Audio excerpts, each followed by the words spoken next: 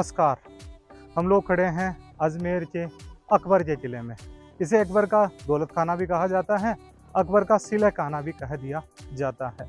बाद में जब अंग्रेज़ आए तो इसने अपनी इसे आर्मरी बना लिया तो इसे मैगजीन का किला भी कह दिया जाता है। इस किले का इतिहास शुरू होता है अकबर के मुगल बादशाह बनने के साथ में। अकबर पंद्रह के अंदर हेमू को हराते हैं और पानीपत की सेकंड लड़ाई में जीतने के बाद में बादशाह बन जाते हैं बैरम खान की सहायता से। बाद में पंद्रह में अजमेर में मुगलों का शासन स्थापित हो जाता है। चित्तौड़ का तीसरा साका पंद्रह में हुआ, जिस साके के अंदर मुगलों ने चित्तौड़ पे विजय प्राप्त की। उसके बाद में अकबर चित्तौड़ से पैदल चलकर अजमेर आते हैं, ताकि वह अपनी जीत है जो ख्वाजा मोइनुद्दीन चिश्ती को समर्पित कर सके। उसी दौरान उनकी मुलाकात ख्वाजा मोइनुद्दीन चिश्ती के शिष्य सलीम चिश्ती से होती है। और उन्हीं की कृपा से उनके बेटे का जन्म होता है, जिसे सलीम या जहांगीर के नाम से जाना जाता है। बाद के अंदर अकबर यहाँ पे रेगुलर विजिटर हो जाते हैं। उसके बाद में उन्होंने प्लान बनाया कि हमें रहने के लिए एक जगह चाहिए, जहाँ पे मुगल सल्तनत का कोई भी सदस्य अजमेर आए या मुगल परिवार का कोई भी सदस्य अजमेर आए तो वह आके यहाँ पे ठहर जाए। तो उन्होंने यहाँ पर ज़मीन पर मुगल शैली के अंदर, यानी राजस्थान के अंदर एकमात्र यह किला है जो मुगल स्थापत्य कला से बना हुआ है। इसकी नींव उन्होंने 1570 में रखी और 70 में रखने के बाद में ये तीन साल के अंदर बनके तैयार हुआ। अकबर ने बाद में जब महाराणा प्रताप पे हल्दी घाटी का युद्ध करने के लिए एक्सपेडिशन तैयार किया था तो उसकी पूरी प्लानिंग इसी किले में बनाई गई थी। उसके बाद में जो राजा मान सिंह है, आगे की प्लानिंग उन्होंने मांडलगढ़ किले के अंदर बनाई थी। ये युद्ध जीत जाते हैं। उसके बाद में जहांगीर हैं। जहांगीर का इतिहास भी इस किले से काफ़ी जुड़ा हुआ है।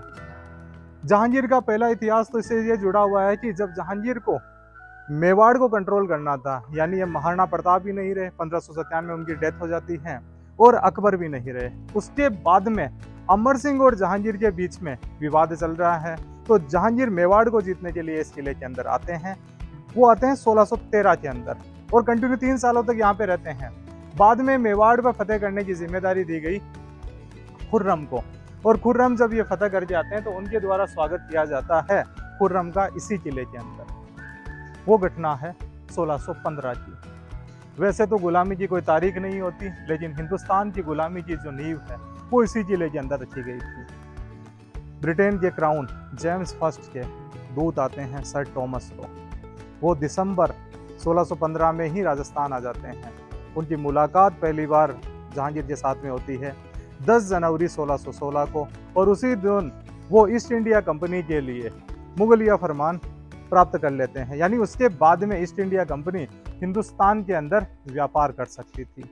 और उसी ईस्ट इंडिया कंपनी ने धीरे धीरे अपना इकोनॉमिक सिस्टम था, उससे वो धीरे धीरे हिंदुस्तान के पॉलिटिकल सिस्टम में आई धीरे धीरे फिर हिंदुस्तान के सोशल सिस्टम में भी उसने अपनी जगह बना ली ये कहानी शुरू हुई थी। 1600 में जब ईस्ट इंडिया कंपनी बनी थी, क्वीन एलिजाबेथ फ़र्स्ट के टाइम में। फिर जब उसे रॉयल फरमान मिला 10 जनवरी 1616 को, उसके बाद में ये कहानी आगे बढ़ती है, जब प्लासी की लड़ाई होती है, बक्सर की लड़ाई होती है। फिर ड्यूअल सिस्टम स्टार्ट हो जाता है सत्रह सौ पैंसठ में, और उसके बाद में रेगुलेटिंग एक्ट, चार्टर एक्ट, या पूरी की पूरी ईस्ट इंडिया कंपनी के द्वारा हिंदुस्तान को गुलाम बना लिया जाता है। जहांगीर ने यह फरमान तो जारी किया ही था। जहांगीर यहाँ के रेगुलर विज़िट करते जब भी जहांगीर इस किले में आया करते तो यहाँ से लोगों को दर्शन दिया करते थे। इनकी गैलरियों में बैठ जाया करते और लोग उनके दर्शन करने के लिए यहाँ पे आया करते थे। बाद के अंदर धीरे धीरे धीरे धीरे 1818 की सन आता है। उस सन के अंदर ये किला चला जाता है ब्रिटिश क्राउन के पास में। ब्रिटिश क्राउन ने फिर इस किले को मैगजीन किले के रूप में बदल दिया, यानी कि यहाँ पर आर्मनी बना दी थी उसके बाद में क्या होता है इस किले से जुड़ा हुआ एक इतिहास और है कि इस किले के अंदर कहा जाता है कि एक बार 1602 के अंदर लॉर्ड कर्जन मेवाड़ आए थे और जब वो मेवाड़ आते हैं तो उस दौरान उनकी मुलाकात होती है गौरी शंकर हीराचंद ओझा से। गौरी शंकर हीराचंद ओझा को जो कवि राजा श्यामल दास जी थे, मेवाड़ के कवि थे तो फतेह सिंह के दरबार में थे। उनके साथ में उनकी गहरी मुलाकात थी और वो गौरी शंकर हीराचंद ओझा को मेवाड़ बुला लेते हैं और वहाँ पे पुरातत्व के संरक्षण का उन्हें लीडर बना दिया जाता है। उसके बाद में जब लॉर्ड कर्जन दिल्ली दरबार के लिए, महाराजा फतेह सिंह को इनवाइट करने के लिए मेवाड़ आते हैं तो उसी दौरान उनकी मुलाकात हो जाती है गौरी शंकर हीराचंद ओझा के साथ में।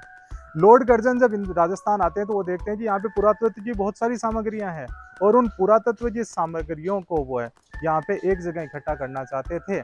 इसीलिए वो गौरी शंकर हीराचंद ओझा को इन्वाइट करते हैं कि आप अजमेर जाओ और अजमेर में जाके एक संग्रहालय का निर्माण करो।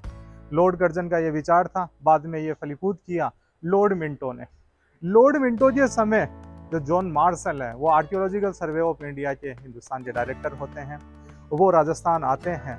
और उसके बाद में राजपुताना म्यूज़ियम की नींव रखी जाती है 19 अक्टूबर 1908 को। और इससे प्रथम क्यूरेटर बनाए जाते हैं गौरी शंकर हीराचंद ओझा को। हिंदुस्तान का इतिहास तो वैसे लड़ाइयों से और राजस्थान का इतिहास, खासकर राजस्थान का इतिहास लड़ाइयों से संबंधित है। लेकिन कभी भी इतिहास को लड़ाइयों की नज़र से ही नहीं देखना होता। उसे कई बार कला की नज़र से भी देखना होता है। जब हम इतिहास को कला की नज़र से देखते हैं तो हिंदुस्तान हमें अलग ही दिखाई देता है। जैसा कि हम लोग इस राजपुताना म्यूज़ियम में देख सकते हैं। हमारा इतिहास तलवारों, बंदूकों और उनसे भी आगे बढ़कर इतनी बेहतरीन मूर्तियों पे टिका हुआ है। जब हम लोग यहाँ पे आते हैं तो हमारा इतिहास पाते हैं कि सिंधु घाटी सभ्यता से हमारा इतिहास शुरू हुआ था। वैदिक काल के अंदर हम आगे बढ़ते हैं। उसके बाद में देखते हैं कि कितनी बेहतरीन प्राचीन मूर्तियों में हमारा जो स्कल्पचर था, एक अति हमारी जो स्कल्पर अक्यूमेन है, उसको दर्शाता है। इस म्यूज़ियम के अंदर हम लोग अलग अलग मूर्तियों को देख सकते हैं, यहाँ पे ताम्र पत्रों को देख सकते हैं, यानी तांबे पर जो लिखा हुआ करती थी इसके अलावा हम लोग जो रॉक एडिक्स हैं, उनको देख सकते हैं, प्राचीन सिक्कों को देख सकते हैं। ये हमारा प्राग ऐतिहासिक इतिहास है, जो कि युद्धों पे ना होके हमारी कला पे डिपेंड है। इस किले की एक खास बात है, ये किला ज़मीन पे बना हुआ है। इस किले के चार बुर्जे हैं और इस किले का जो मेन दरवाज़ा है उसे जहांगीरी दरवाज़ा कह दिया जाता है। बेसिकली इस किले में एक खास बात है कि ये राजस्थान के हार्टलैंड में बसा हुआ है, ये ज़मीन पे बसा हुआ है, मुगल शैली का एकमात्र किला है। और इस किले के अंदर हम लोग हमारे युद्धों के इतिहास को देखते हैं, किसी की धार्मिक भावनाओं को देखते हैं। राजस्थान के प्रसिद्ध हल्दी घाटी के युद्ध के दौरान बनाई गई प्लानिंग को यहाँ पे देखते हैं। साथ ही हमारा पाँच हज़ार साल पुराना इतिहास भी यहाँ पे संग्रहित है।